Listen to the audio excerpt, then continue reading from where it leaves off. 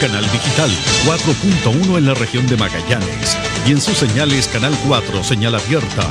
Canal de la señal por cable, Canal 10 en Puerto Natales, Canal 62 en Porvenir, Canal 42 señal claro, 95.3 FM, 590 AM y www.elpingüino.com con el auspicio de Asociación de Salmonicultores de Magallanes. Juntos construimos una mejor región. Presenta Noticias 13 horas en Pingüino Multimedia.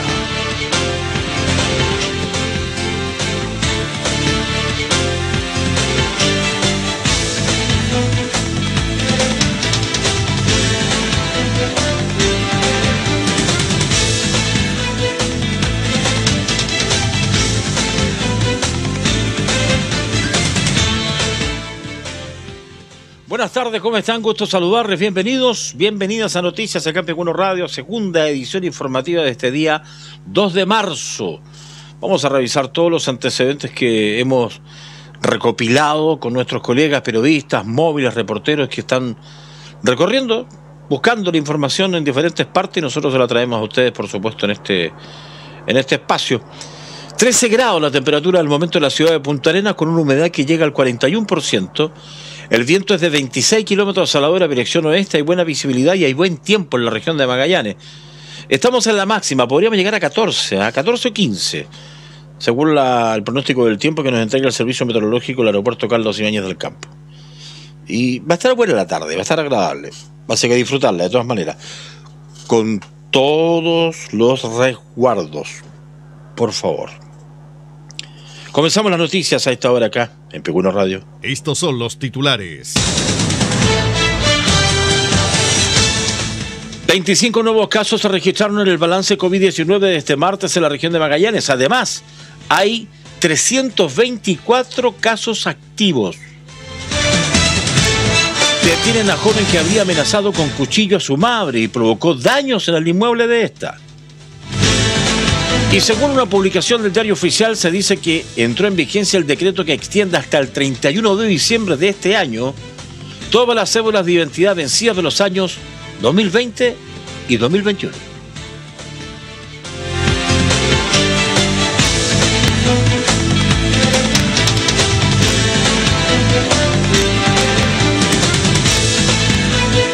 Escuchas el informativo más completo de la región de Magallanes a través del noticiero de Pingüino Radio.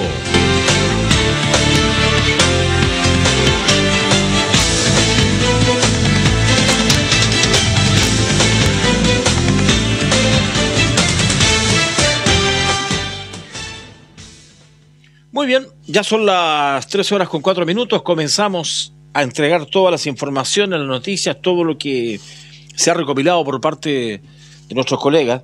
Y uno de los temas que tenemos diariamente, por supuesto, son la situación que se vive con el COVID a nivel regional. Igual estamos preocupados de lo que ocurre a nivel nacional, pero en lo regional estamos también atentos siempre por el hecho de que no queremos que se nos disparen nuevamente las cifras como tuvimos el año pasado. Eh, recordemos que hay comunas que pasaron a fase 4, que eso es positivo también. ¿Qué ha pasado con todo ello?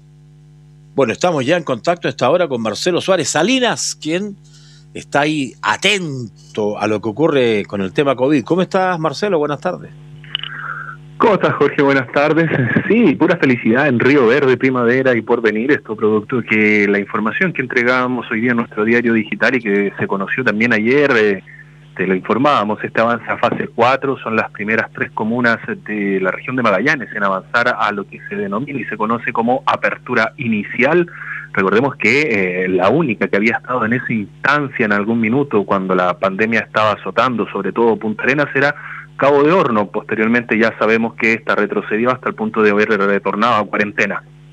Pero lo que condice a la actualidad es que a partir de este jueves a las 5 de la mañana, Río Verde, Primavera y Porvenir van a ser las primeras tres comunas de Magallanes en avanzar al proceso de apertura inicial. Ahora hablando directamente de relación a las cifras del día de hoy, Epivigilio informó que Magallanes fue notificado con 25 nuevos casos de COVID-19, de los cuales 23 fueron de personas que presentaron síntomas y una cifra bastante baja de asintomáticos que tan solo cifra en dos personas. De esta manera, hasta la fecha, Magallanes presenta 21.939 personas que han sufrido el COVID-19, de las cuales se mantienen 324 como, eh, como casos activos. Lamentablemente se suma un nuevo fallecido al total, eh, llegando a la cifra de 316. Hay que clarificar que este fallecido aún no sabemos porque el, eh, el, balance regional se entrega pasada a las 13.30.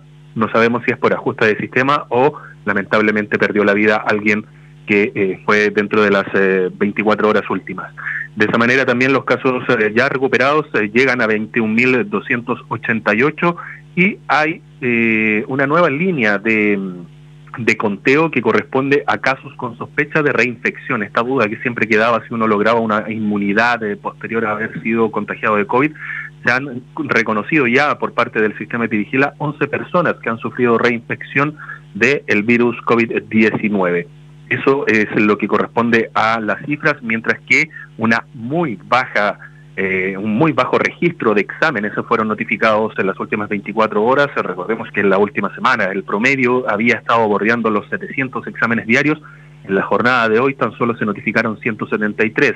Esto probablemente impulsado por el fin de semana. Recordemos que el fin de semana, tanto en Puerto Natales como en Punta Arenas, las dos ciudades más grandes que compone Magallanes, se encuentran en proceso de cuarentena. Por ende, también la búsqueda de casos activos disminuye y también, por supuesto, la toma de exámenes de manera particular. En base a estos 173 casos es que se notificaron los 25 nuevos positivos, por lo que la posibilidad del día se elevó a cifras que no veíamos hace aproximadamente ya dos o tres semanas llegando a un 14%, mientras que la acumulada de los últimos siete días disminuyó a un 7%, Jorge.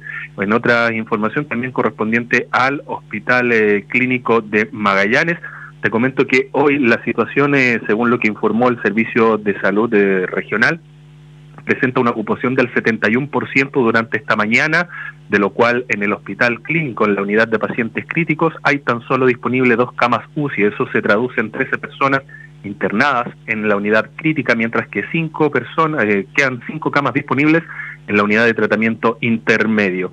En base a eso también informan que el 45% de ocupación ha llegado la utilización de ventiladores mecánicos, lo que otorga una disponibilidad de 24 equipos disponibles. Se mantienen las 36 aeroevacuaciones eh, antes mencionadas, 24 provenientes desde Punta Arenas y 12, 12 desde Puerto Natales, y en lo que va de este año 2021 ya han retornado a la región 15 personas que habían sido trasladadas de manera aérea al norte del país. Eso es lo que hay hasta el momento en lo que corresponde al balance de salud COVID-19, Jorge. Ni se te ocurra caer al hospital.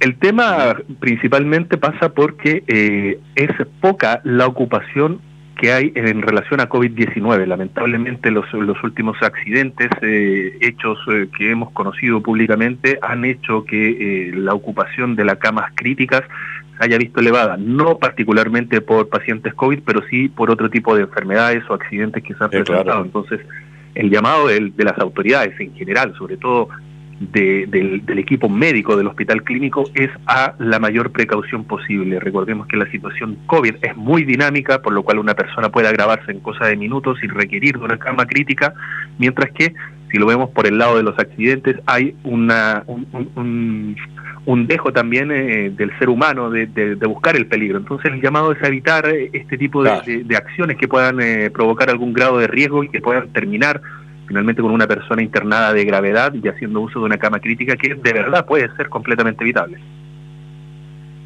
El buscar adrenalina pasa la cuenta. Eso es lo que siempre han dicho. Por eso mejor quedarse tranquilito en casa. Gracias. Usted todas las jornadas. Un abrazo. Nada más. Que te vaya muy bien. Gracias, Marcelo. Igual, Jorge. Chau. Chao, chao. Ya. 13 horas con 10 minutos. Fíjese que la Contraloría tomó razón de un decreto enviado por el Ministerio de Justicia y Derechos Humanos que va a permitir que las cédulas de identidad, eh, si, que, si es que vencen, puedan ser usadas hasta el 31 de diciembre de este año 2021. Para hablar de ello estamos en contacto esta hora con don Mauricio Peñalillo, que es el director de Registro Civil e Identificación de la región de Magallanes. ¿Cómo está don Mauricio? Gusto saludarlo. Hola Jorge, un gusto saludarlo, muy buenas tardes a ti y a todos los auditores de Pingüino Multimedia. Gracias por recibir el llamado también y qué buena noticia esta que se entrega de la ampliación del uso de la cédula de identidad hasta fines de este año.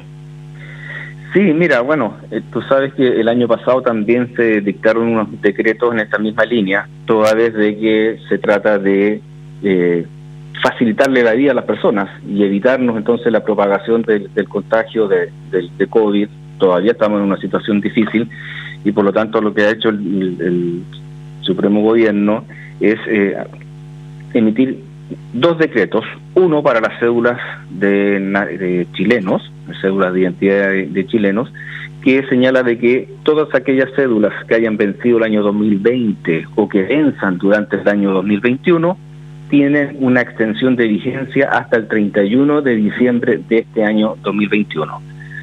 Todo esto para acreditar identidad, ¿no es cierto?, a nivel nacional para cualquier trámite y gestión que haya que realizar y lo, subrayo de carácter nacional porque uno a, algunos países no es cierto se puede viajar con la cédula de identidad y por lo tanto para esos efectos no sirve solamente para efectos de trámites de carácter nacional no sirve como un documento de viaje una cédula que esté vencida a ver si una persona de Magallanes tiene la necesidad de viajar a Río Grande porque estamos cerca Ushuaia el Río Gallego el Turbio esa cédula de identidad no le sirve para viajar. Estando vencida, no sirve. Más allá que tampoco va a poder pasar porque las están cerradas. pero, pero por efecto, ¿no es cierto? Si yo quisiera viajar desde, desde el aeropuerto internacional de Santiago, ¿no es cierto? Que está abierto para las fronteras para, para poder viajar al extranjero, si voy a un país donde solamente me exijan la cédula de identidad, esa cédula tiene que estar vigente. Claro, no, yo le consultaba porque de repente a lo mejor por un fallecimiento de un familiar directo aquí en las cercanías de la ciudad de Punta Arenas, uh capaz que en una de esas lo dejaban pasar, pero de ninguna manera con la cédula vencida entonces. Se supone, claro, insisto, eh, la finalidad de estos decretos que se han dictado es para hacer eh, extensión de vigencia para todos los trámites de carácter nacional con la finalidad, insisto, ¿no es cierto?, de evitar que la gente tenga que estar viniendo a, las oficinas, aglomeraciones, trasladarse, locomoción colectiva, etcétera, donde pueden haber entonces posibles focos de contagio. La idea es, es tratar de evitarlo. Y de igual forma, también se hizo un decreto para extender la vigencia de las cédulas de identidad de los extranjeros.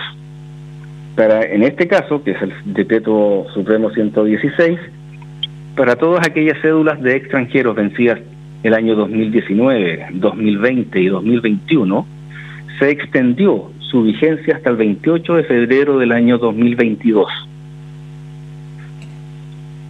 Único requisito 28 contar con un permiso hasta el 28 de febrero del año 2022, efectivamente. También, ¿no es cierto?, para cualquier trámite de identificación dentro del país y requiere en este caso sí contar con un permiso de residencia. ¿Qué pasa si una persona tiene vencido su carnet de identidad y tiene vencida la visa de trabajo, de lo que sea? Bueno, lo que tiene que ahí hacer es la tramitación de su renovación de la visa a través de extranjería, en este caso en la gobernación provincial de Magallanes, los que están residiendo obviamente dentro de esta provincia. En la gobernación, ahí está el Departamento de Extranjería, que depende del Ministerio del Interior, y ahí entonces se realiza la tramitación de la visa. Eh, director, esto de... yo, yo lo veo como acumular trabajo para ustedes después, porque imagínense cómo va a ser la cantidad de gente que se van a golpar a las oficinas de registro civil en diciembre de este año, para que puedan renovar los que quieran salir, porque claro, ya me dijeron, no, mi carnet me dura hasta diciembre de 2021. Pero ¿qué va a pasar el próximo año que ya va a estar vencido? O sea, ¿no va a ser una aglomeración de gente a fin de año? Bueno, lo, que nosotros esperamos, y, creo que ahí todos tenemos la esperanza, es de que ya hacia fines de año el tema de la pandemia esté no superado, pero bastante más controlado y ya estemos prácticamente todos vacunados en lo posible y por lo tanto ya la transmisión del virus sea menor y aquellos que, se contagian, ¿no es cierto?, estando vacunados, se supone que la afección va a ser también de una, no va a tener tanta gravedad. Eh, y por otra parte, esperamos también que hacia fin de año ya se vaya normalizando el tema del trabajo y por lo tanto la gran mayoría de los funcionarios estén trabajando de manera presencial. Todo eso entonces sumado nos va a permitir poder abordar de mejor manera también esa mayor demanda que probablemente, tal como tú muy bien lo señalas, vamos a tener eh, en, fechas próximas al estar entonces permanentemente extendiendo las vigencias de las cédulas de identidad y de los pasaportes también. El, carnet me va a servir para votar el 11 de abril entonces, aunque esté vencido. Bueno, este es otro tema, porque eso va por una ley que por, leyes que son distintas. Eh, pero pero interesante la pregunta, porque, eh, a ver, eso va por la ley normalmente de votación y escrutinio, y eh, el año pasado, previo al plebiscito, en el día, si no me equivoco, fue el 23 de octubre, y el plebiscito fue el día 25, se dictó una ley que tiene un artículo único que es muy, muy breve, que señala que, dice, y lo voy a leer textual para que lo, lo podamos comprender, dice, en las elecciones o plebiscitos que se realicen entre la fecha de publicación de esta ley y el término del proceso constituyente, para el solo efecto de identificar al elector nacional, se aceptarán las cédulas de identidad o pasaportes que hayan vencido a contar del 1 de octubre del 2019. ¿Ya? A contar del 1 de octubre del 2019. Todas las cédulas entonces vencidas a contar del 1 de octubre del 2019, dice esta, este artículo único, se aceptarán para efectos de toda votación entre el plebiscito que se hizo el 2025 y el término del proceso constituyente, que esto es el año 2022. Por lo tanto, entonces podría ah, efectivamente yo... Desde el 25 de octubre de 2020, que fue el primer plebiscito, hasta todas las elecciones o plebiscitos que sacan en el 2022, la cédula que se venció, ¿desde cuándo el Primero de octubre de 2019. 19 de octubre de 23 de octubre de 2019. Perdón, primero ah, de octubre del 2019. ¿Ya? Primero de octubre de 2019. Correcto. Está a contar de esa fecha, entonces todas las cédulas vencidas a contar de esa fecha pueden ser utilizadas para todas las elecciones entre el plebiscito y el término del proceso constituyente. Ya, se entiende. La cédula de identidad que venció desde el 1 de octubre de 2019 hasta el 31 de diciembre de 2019, a mí no me sirve para hacer trámite, pero sí para votar. Exactamente. Exactamente.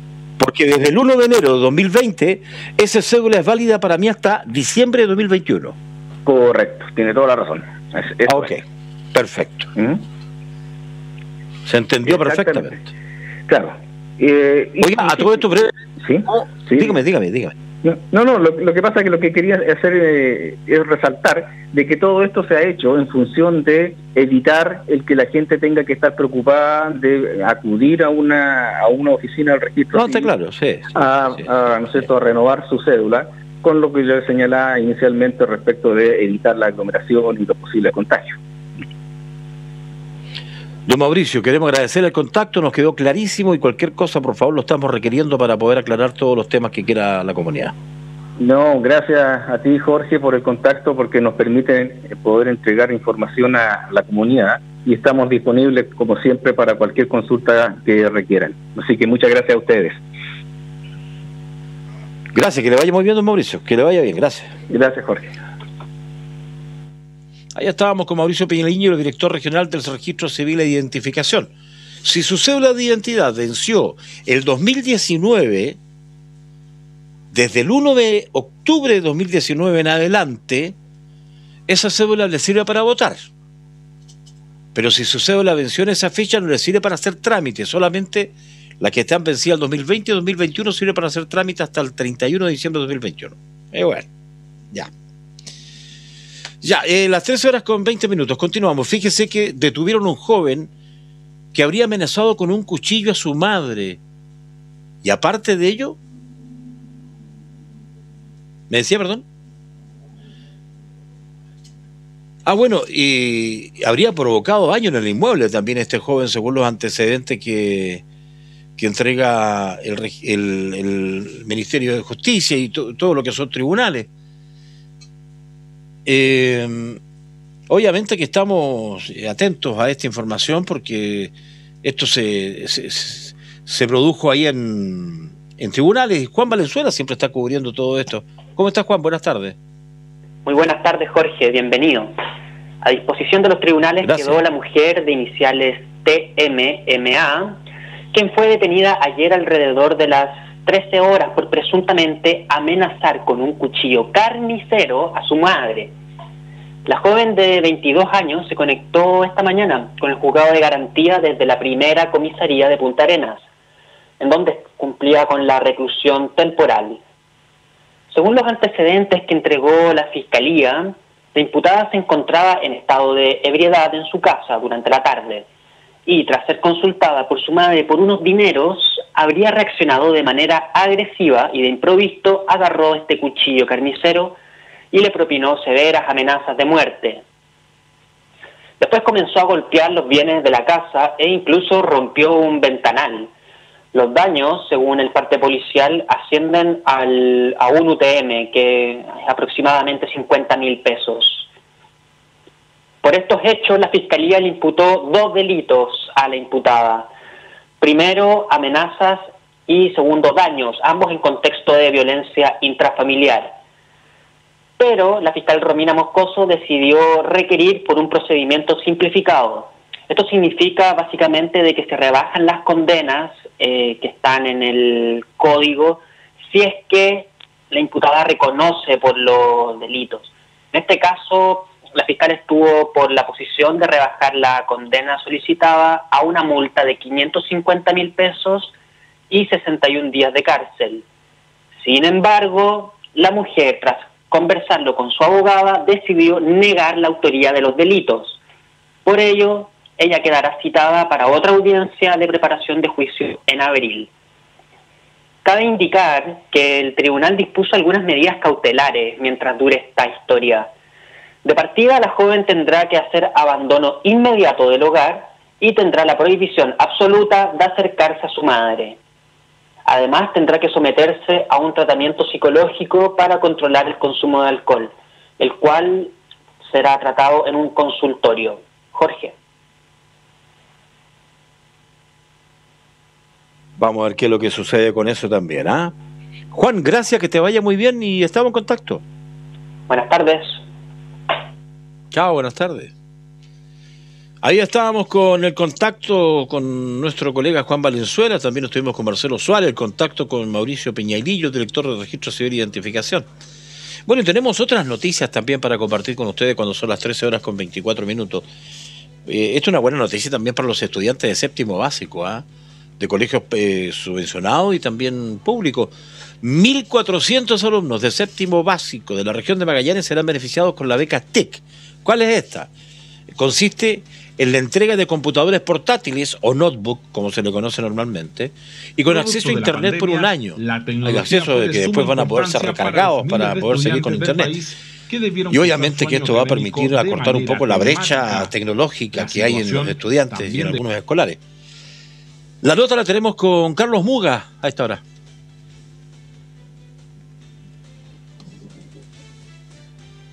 Producto de la pandemia, la tecnología fue de suma importancia para los miles de estudiantes del país que debieron cursar su año académico de manera telemática. La situación también dejó en evidencia la brecha tecnológica de algunos escolares que no contaban con un computador o acceso a Internet para conectarse a sus clases. Ante esta dificultad, las becas TIC de la Junta Nacional de Auxilio Escolar y becas JUNAEF puede ser una gran ayuda. Estas consisten en la entrega de un computador portátil a estudiantes de séptimo básico. En la región de Magallanes se estima que 1.400 alumnos tendrán acceso a este beneficio el año 2021, según comentó Paula Vidal, directora de Junaef Magallanes. De los 1.400 computadores, todos vienen asociados con su banda ancha, internet, la cual después queda para la familia, la pueden usar como recarga prepago, sigue con el alumno y eh, efectivamente mil se quedan aproximadamente en la comuna de Punta Arenas y los repartimos, en este, el año pasado los repartimos eh, solo en una jornada, repartimos los mil computadores. Yo diría que alrededor de los 300 se van a la comuna de, a la provincia de Última Esperanza, porque ahí también hacemos una logística. Y eh, Tierra del Fuego se quedó con eh, un 80% de los 100 restantes, y ahí lo distribuimos en Laguna Blanca, Río Verde. Eh, San Gregorio, Primavera, y donde hay un niño de séptimo año básico, porque va dirigido a todos los niños que estudian séptimo año básico en un colegio público subvencionado. Otro tema que todos los años genera atención es la obtención de la Tarjeta Nacional Estudiantil, más conocida como TNE, cuyo sitio web se habilitó el capturador fotográfico online.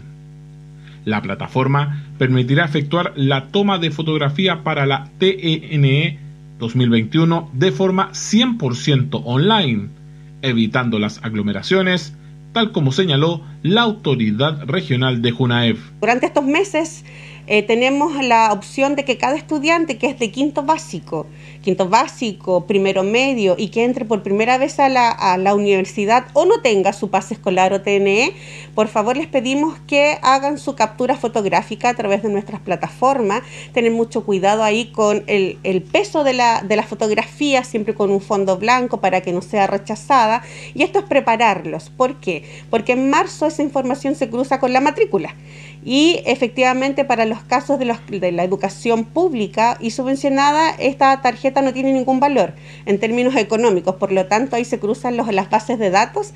Eh, si el joven ya se sacó su fotografía, adelantamos un paso, después se cruza con la matrícula y se manda a confeccionar la tarjeta y les llega después a los colegios.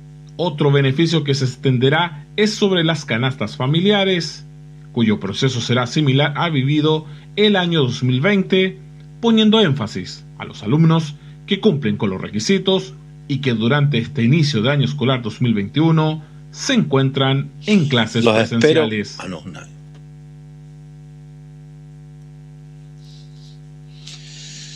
Ahí está, una buena noticia para los estudiantes de séptimo básico. ¿eh? Computador con internet, que es lo que usa en banda ancha, al lado ahí, tipo un pendrive.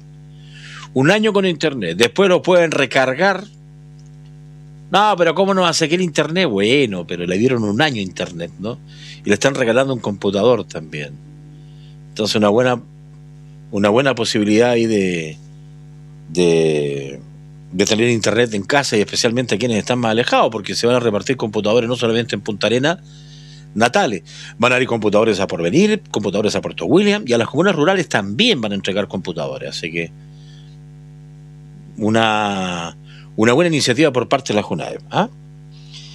Eh, me dicen acá, para con trámite en tiendas, no me sirve por tener el carnet vencido, venció en septiembre de 2020. Bueno, la tienda está mal, porque ahora el decreto ley dice de que eh, todas las cédulas de identidad del año 2020 y 2021 son válidas hasta el 31 de diciembre de 2021. Yo le voy a enviar el link ahí de la noticia de nuestro amigo acá que estaba preocupado ahí respecto de, de lo que es eh, esta, esta nueva normativa que está vigente. ¿ah?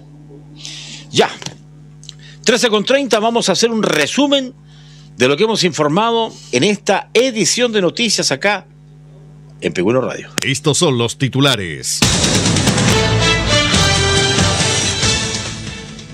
25 nuevos casos se registraron en el balance COVID-19 este martes en la región de Magallanes. Además, hay 324 casos activos.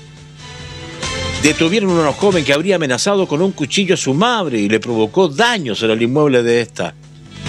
Y además, publicación del diario oficial señala que dentro, entró en vigencia el decreto que extiende hasta el 31 de diciembre las cédulas de identidad vencidas los años 2020 y 2021.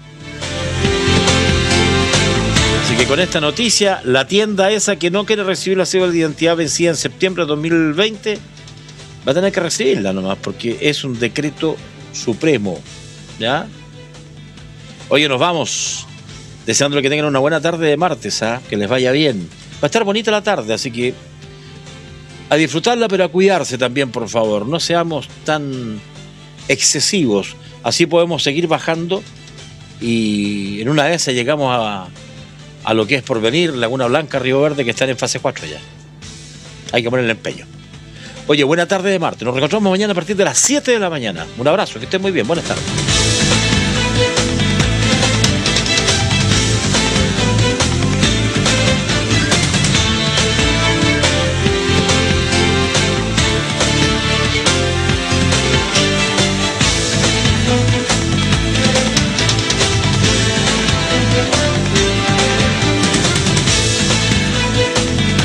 Multimedia único canal digital 4.1 en la región de Magallanes. Y en sus señales Canal 4, señal abierta, Canal 30 de la señal por cable, Canal 10 en Puerto Natales, Canal 62 en Porvenir, Canal 42 señal claro, 95.3 FM, 590 AM y www.elpingüino.com con el auspicio de Asociación de Salmonicultores de Magallanes. Juntos construimos una mejor región.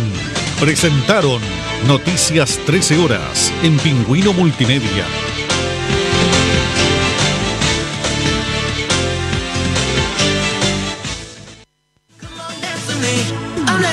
Descubre qué se lleva esta temporada en el arte de vestir. Todas nuestras tiendas se encuentran abiertas. Ven a conocer las últimas tendencias en ropa, calzado y accesorios.